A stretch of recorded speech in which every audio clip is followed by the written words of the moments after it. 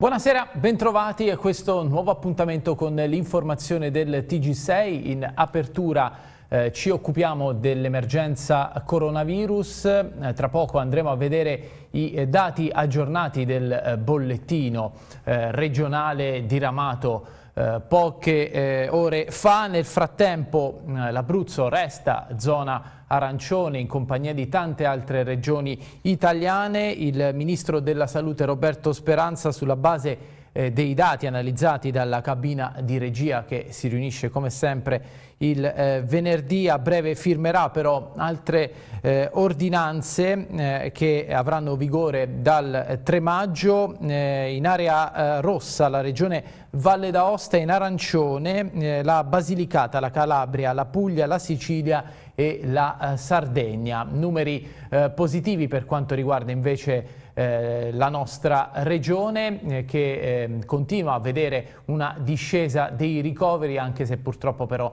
proseguono eh, i decessi, sono sei quelli delle ultime ore. Noi adesso andiamo a vedere, a vedere proprio il ehm, bollettino regionale nel prossimo servizio e poi un approfondimento sui due comuni che restano eh, zona rossa per decisione ieri della cabina di regia eh, regionale sulla città di Pescara che dopo eh, quasi 40 giorni eh, di restrizioni è ehm, la città assieme a tutta la provincia con eh, la migliore incidenza per quanto riguarda i contagi Covid. Vediamo i servizi, eh, tra cui quello del collega Giuseppe Dintino. Continua la discesa dei ricoveri Covid in Abruzzo che passano dai 423 di ieri ai 412 di oggi. Nel dettaglio 374 pazienti, meno 8 rispetto a ieri, sono ricoverati in area medica Covid e 36, meno 3, con due nuovi ricoveri in terapia intensiva. Un numero questo più che dimezzato rispetto al picco di qualche settimana fa.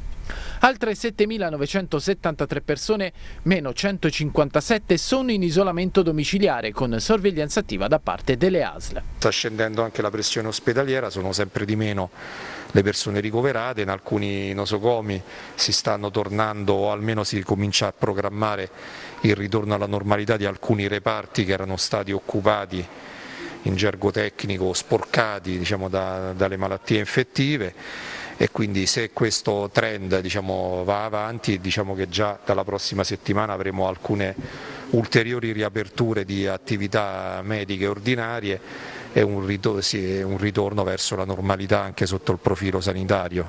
Proseguono però i decessi a causa delle infezioni di coronavirus. Nelle ultime ore le morti sono 6 ed il bilancio delle vittime da inizio emergenza sale a 2403. Sul fronte dei nuovi positivi sono 151, emersi dalle analisi di 4.032 tamponi molecolari, è risultato così positivo il 3,75% dei campioni. I nuovi positivi hanno età compresa fra i 4 mesi e i 98 anni. Gli attualmente positivi scendono a quota 8.383, meno 168 rispetto a ieri. I guariti aumentano e sono 60.432, più 313. I maggiori contagi si registrano nella provincia di Chieti, poi L'Aquila e Teramo, numeri molto più bassi nel Pescarese. Con un RT che è sceso allo 0,78 e gli ospedali che continuano lentamente a svuotarsi, seppure è vero che in due persone di Chieti è stata individuata una rarissima variante egiziana, questa al momento non desta maggiore preoccupazione rispetto agli altri ceppi del virus. Ieri intanto si è riunita l'unità di crisi regionale che ha ridisegnato la mappa dei comuni con massime restrizioni. A partire da oggi sono solo due comuni in zona rossa, entrambi in provincia dell'Aquila, ovvero San Pio delle Camere Barisciano. Tira un sospiro di sollievo Pescara. Il capoluogo adriatico settimane fa era straziato dai contagi e da qui che la terribile variante inglese si diffuse in tutta Italia. Ad oggi però quella di Pescara è la miglior provincia della penisola per incidenza del virus. I vaccini sono la chiave di svolta, dice il sindaco, ma la differenza l'hanno fatta anche i 37 lunghi giorni in zona rossa. Abbiamo dei numeri incredibili eh, che ci permettono di guardare al futuro sicuramente con maggiore tranquillità senza mai abbassare la guardia però perché le precauzioni non sono mai troppe con questo virus che eh, è subdolo e pericoloso. Certo è che oggi con la campagna vaccinale eh, funziona bene tutto il percorso per quanto riguarda la lotta al coronavirus, perché noi abbiamo questo centro del Palafiere che oramai viene portato ad esempio in Italia con 24 linee vaccinali dove ci sono 160 persone ogni giorno che operano eh, spesso in maniera volontaria. Quella zona rossa, anche la chiusura delle scuole, eh, in qualche modo eh, questi due elementi hanno attenuato il percorso della variante inglese e quindi in meno di, di due mesi siamo arrivati ad essere la città meno contagiata d'Italia.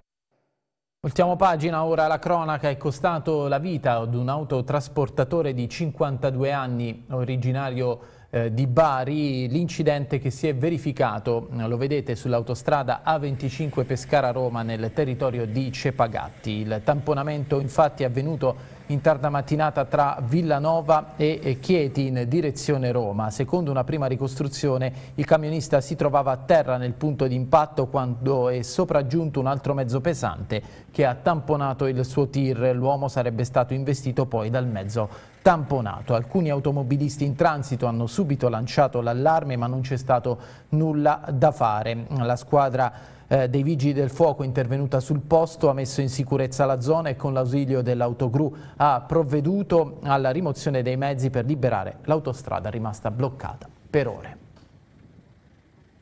Proseguiamo adesso eh, con la pagina sindacale. L'assessore regionale al lavoro Pietro Quaresimale ha incontrato eh, l'amministrazione eh, comunale di Penne per studiare le mosse tese a scongiurare il taglio di 320 posti di lavoro alla Brioni. Intanto domani in occasione della festa dei lavoratori le sigle sindacali saranno davanti lo stabilimento di Penne della Brioni a sostegno delle maestranze. Vediamo il servizio di Stefano Recanati.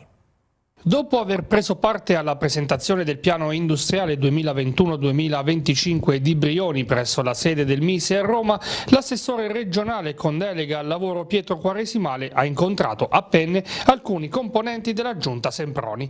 Tema principale, scongiurare in tutti i modi l'esubero di 320 lavoratori annunciati dalla stessa azienda guidata dal gruppo Kering. Ricordiamo che i tagli riguarderanno solamente i tre stabilimenti dell'area vestina, cioè quelli di Penne, Civitella Casanova e Monte Montebello di Bertona. Durante il confronto l'assessore Quaresimali ha ribadito gli stessi concetti espressi dopo i tavoli ministeriali, ovvero la forte volontà della regione Abruzzo di evitare che questa importante realtà del Made in Italy lasci l'area vestina già duramente colpita dalla crisi e dallo spopolamento. Abbiamo affrontato la vicenda di Brioni che per l'amministrazione comunale rappresenta una priorità, ha dichiarato l'assessore. Come regione stiamo lavorando in sinergia col Ministero dello Sviluppo Economico per scongiurare i tagli di posti di lavoro. Siamo fiduciosi, a breve incontreremo anche l'amministratore delegato di Brioni con il quale concerteremo iniziative per chiudere la vertenza. Oltre alla vicenda Brioni sono stati trattati argomenti come politiche sociali e formazione, oltre al tema della valorizzazione dell'artigianato artistico della città. Il sindaco Mario Semproni ha proposto di attivare attraverso la programmazione europea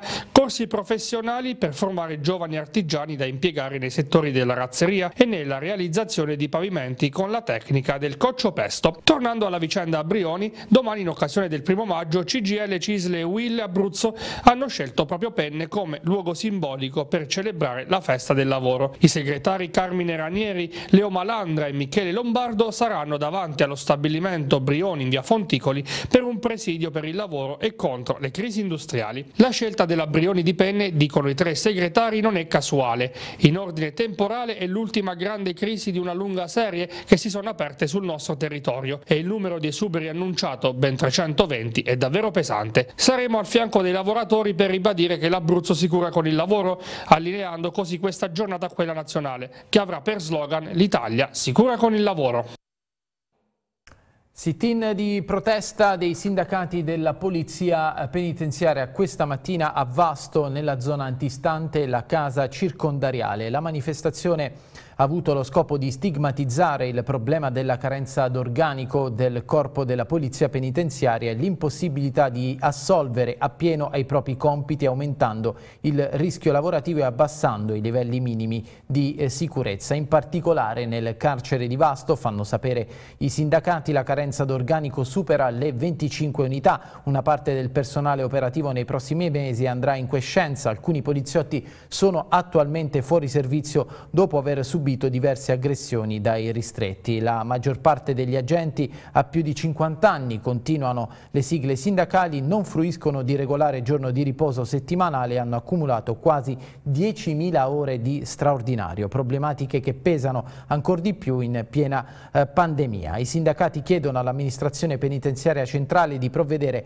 al più presto ad un congruo piano di assunzioni anche perché in Abruzzo ci sono anche altri istituti nella medesima condizione organizzativa come ad esempio quello di Sulmona. Proseguiamo ora con il nostro telegiornale e torniamo a Pescara. I consiglieri comunali Pignoli e Fiorilli hanno presentato una petizione che verrà inoltrata sia al comune che al prefetto in cui si chiede eh, un maggiore controllo con le telecamere a seguito di alcuni eh, recenti fatti eh, di cronaca relativi a spaccate in esercizi commerciali. Sentiamo il servizio. A Pescara servono ancora più telecamere e ancora più forze dell'ordine. A dirlo il gruppo comunale dell'UDC che ha raccolto mille firme tra i cittadini di Portanuova per chiedere all'amministrazione di intervenire celermente. La sicurezza è una competenza strettamente delle forze dell'ordine, della prefettura, ma il comune è sempre il primo sportello dove i cittadini si rivolgono per poter rappresentare le proprie paure, le proprie istanze, i propri bisogni. E io insieme all'amico e consigliere Pignoli che sta sempre in mezzo alla gente e quindi raccoglie prima di tutte queste paure, queste istanze, abbiamo voluto promuovere questa iniziativa raccogliendo più di mille firme per un'esigenza di sicurezza avvertita soprattutto in certe zone della città, firme che gireremo chiaramente al sindaco in quanto primo cittadino ma soprattutto al prefetto e alle forze dell'ordine perché si adottino al più presto misure atte a, ad arginare questo fenomeno purtroppo di violenza che in questo periodo di chiusura e di lockdown è stato ancora più accentuato. Il comune da parte sua sta facendo la sua con l'installazione di telecamere ma è giusto pure che le forze dell'ordine siano molto attente soprattutto in certe zone della città che purtroppo a volte vengono trascurate. Con la zona rossa si pensava all'incremento delle forze dell'ordine che il problema sicurezza si attenuasse, non è stato così? Evidentemente i fatti dicono il contrario, la gente è allarmata, eh, abbiamo raccolto mille firme che corrispondono a mille famiglie di Pescara, quindi una famiglia abbiamo pre preteso che ogni persona, ogni famiglia apponesse la propria firma di uno spicchio di Pescara che è la zona di Porta Nuova inizio via Terno, quindi la preoccupazione è seria, è tanta e io e il collega Fiorilli ci siamo fatti portavoce delle problematiche di, di queste persone, soprattutto degli esercenti commerciali. L'avevamo detto e l'avevamo fatto. Restiamo nel capoluogo adriatico perché nel frattempo questa mattina è stato presentato il nuovo sito del comune di Pescara. Dopo il raddoppio degli accessi online l'amministrazione così ha deciso per un ammodernamento. Vediamo. Gli accessi al sito del comune di Pescara in un anno sono raddoppiati e ora l'amministrazione ne ha fatto uno nuovo. È online da oggi e tramite lo sportello polifunzionale si potrà accedere a oltre 700 istanze. Al momento il vecchio sito rimane comunque fruibile fino a quando tutti i contenuti saranno spostati su quello nuovo. La transizione digitale a Pescara è già realtà, ha detto l'assessore Seccia. Un sito che praticamente si adegua a quelle che sono le normative Agid che obbligano eh, gli enti locali ad effettuare fare degli adeguamenti in relazione alla trasparenza e alla facilità di accesso. Eh, questo sito ovviamente eh, rappresenta quello che eh, detta la, la, norma in tal caso, anche perché eh, nell'ultimo anno si è avuto un, praticamente un raddoppio degli accessi da 50 a 91 mila quasi, quindi quasi il doppio e vogliamo mettere in condizione eh, tutti i cittadini di Pescara di digitalizzare i propri servizi attraverso questo strumento con la diffusione anche dello SPID che è il, il sistema di identità digitale che permette anche eh, di effettuare quelle che sono sono eh, le ehm, diciamo, richieste di eh, certificate, ad esempio dalla cosa più banale, a qualsiasi altro servizio che è fornito dal Comune di Pescara. Quanto costa riamorernare il sito?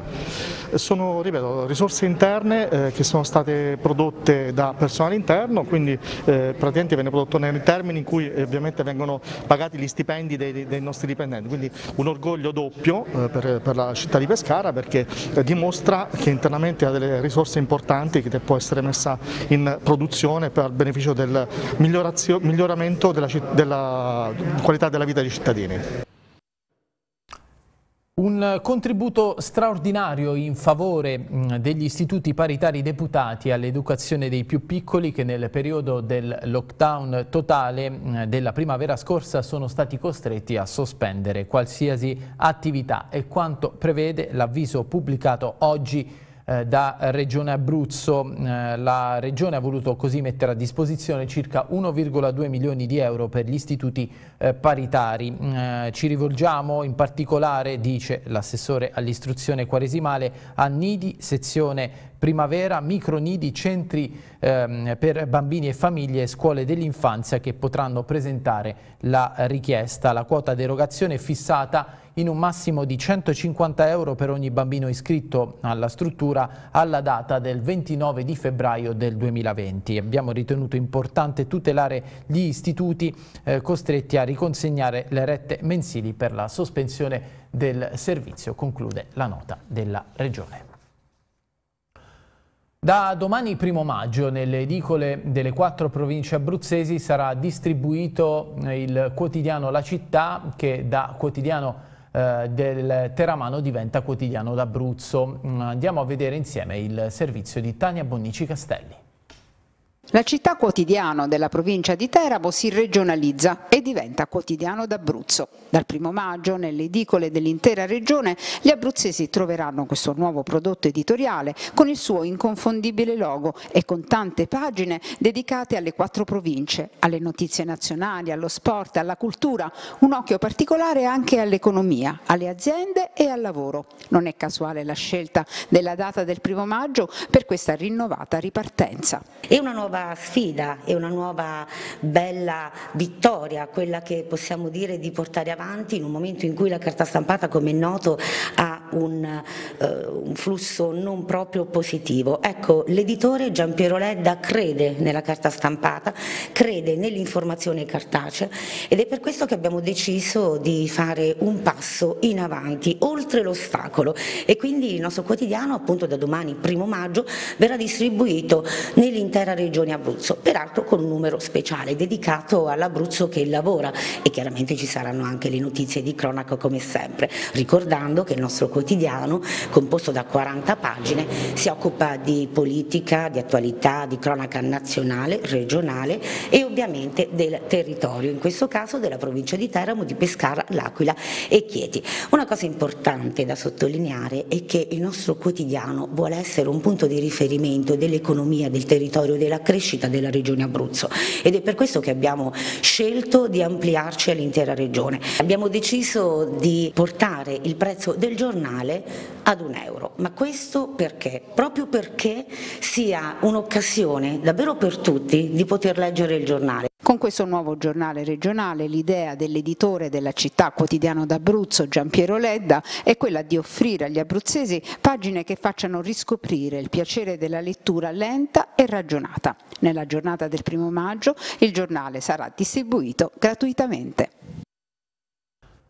Siamo arrivati allo sport, partiamo dalla Serie B. La Lega ha rimodulato date e orari di playoff e playout, in particolare i playout si disputeranno sabato 15 maggio alle 16.30 gara di andata e venerdì 21 maggio ore 20.30 per quella di ritorno. L'obiettivo del Pescara è esserci a questi appuntamenti anche se la rincorsa si è fatta estremamente difficile. Domani alle 14 i biancazzurri giocheranno a Cosenza, uno scontro diretto nel quale la vittoria sarà l'unico risultato eh, che eh, conta. Allora vediamo il servizio di Andrea Costantini. È la partita del non ritorno per il Pescara. Domani alle 14 al San Vito Marulla contro il Cosenza i biancazzurri avranno l'obbligo della vittoria per restare in vita, sperare in una rimonta che avrebbe del miracoloso e dare un senso alla partita successiva, un altro scontro diretto con la Reggiana. Il Pescara è partito ieri pomeriggio, sosta intermedia con rifinitura odierna nel Salernitano e poi di nuovo in viaggio verso Cosenza. Dei giocatori positivi al Covid, tre si sono negativizzati, ma il solo Seter fa parte della comitiva e partirà partirà dalla panchina. Nulla da fare per gli altri e anche in chi è partito vanno fatti dei distinguo. Ci sono Tabanelli e Bocchetti che però non giocano da un pezzo e la loro disponibilità è limitatissima. Seppur convocato, De Sena non sarà della partita.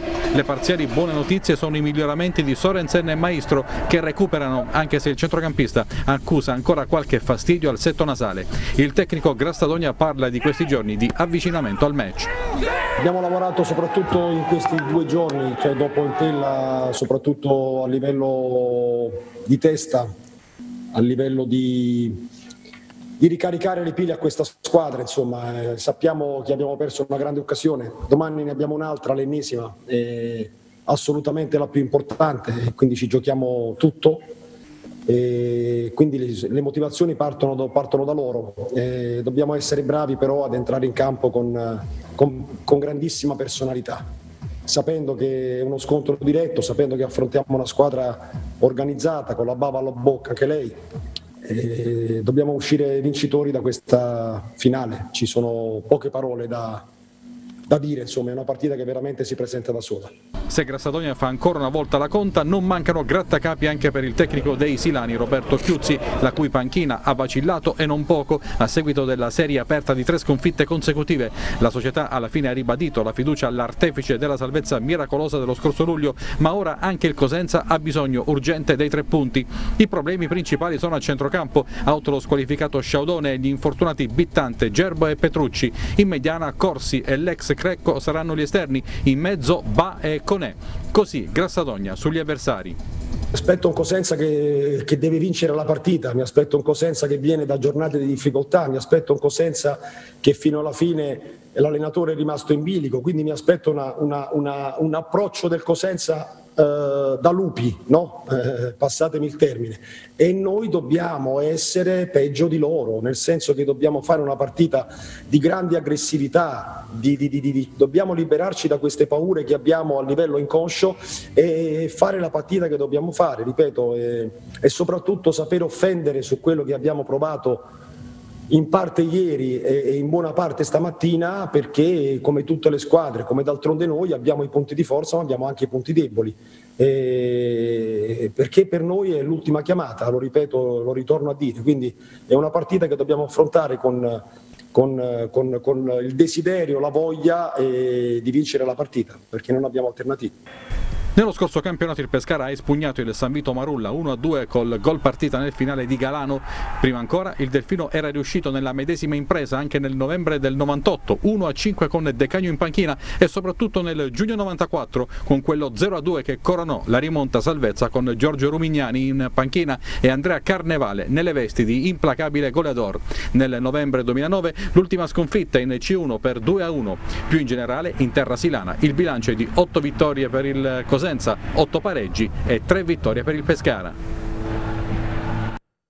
Serie C nel pomeriggio, penultima seduta settimanale per il Teramo che prepara la partita eh, dell'ultima di campionato contro la Viterbese. Il tecnico Paci recupera Santoro, Ilari e Tentardini e potrebbe eh, lanciare dal primo minuto eh, Bellucci, viste le assenze certe di Trasciani e Diachite e le condizioni non ottimali di Vitturini e Lasic. Il Teramo punta al settimo posto, anche di questo ha parlato l'attaccante Daniel Birligea che andiamo ad ascoltare ci sono tante parecchie combinazioni mh, mm, per l'ultima giornata di campionato che restituirebbero o un Teramo-Palermo o un Palermo-Teramo, il che per te eh, inevitabilmente sarebbe una partita particolare. Sì, sì, è una bella partita, cioè, è, è, bello sempre giocare con le ex squadre, comunque far vedere che ti hanno cresciuto e magari in un certo senso ti hanno perso, ma magari non per colpa loro e comunque è anche un,